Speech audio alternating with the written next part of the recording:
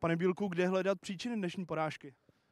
Tak my jsme měli eh, velmi dobrý začátek, myslím, že těch 30 minut bylo výborné, dali jsme góla, měli jsme tam další 100% šance, které jsme neproměnili a pak jsme trošku uh, ztratili kontrolu uh, nad zápasem, soupeř se dostal do hry, uh, dal gól a, a ve druhé poli jsme udělali nějaké nějaký změny, které vedly k tomu, že jsme se zase vytvořili spousty středeckých příležitostí, ale bohužel jsme dostali branku a prohráli.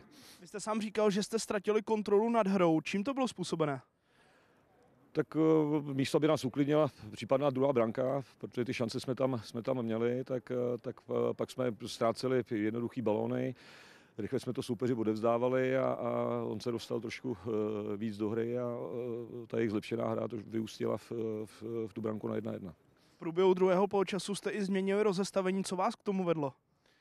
Tak Chtěli jsme tam, eh, přemýšleli jsme o tom, že tam dáme eh, dva útočníky, že tam dáme Drosidmiho, pak jsme chtěli tam dostat ještě Vidru, protože i když dlouho nehrál, tak eh, na tréninku se byl dobře a přece jenom je to, je to útočník a je to, je to, je to golový hráč, tak jsme tam chtěli mít víc, víc hráčů, kteří jsou schopni tu branku dát, proto jsme to stáli na tři obránce. Bude pro vás těžké hráče znovu nastartovat, protože ta prohra je hodně nepříjemná hned na úvod jara. Tak eh, samozřejmě je to, je to každá, každá ztráta je nepříjemná, zvlášť když prohrajete, eh, prohrajete eh, doma. Jo, ten začátek, o kterém jsme si hodně slibovali, protože jsme říkali, že je potřeba dobře do toho, do té jarní části vstoupit, tak se nám nepodařilo.